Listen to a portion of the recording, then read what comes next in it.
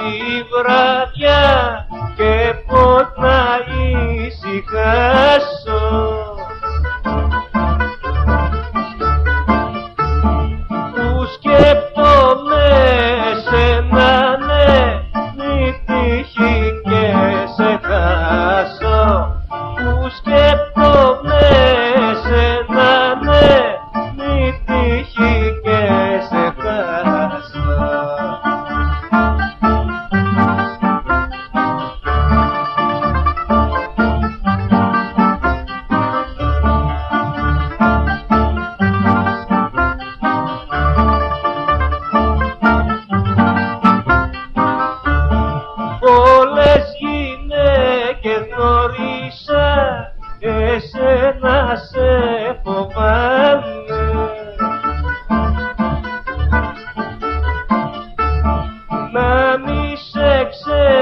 realizó.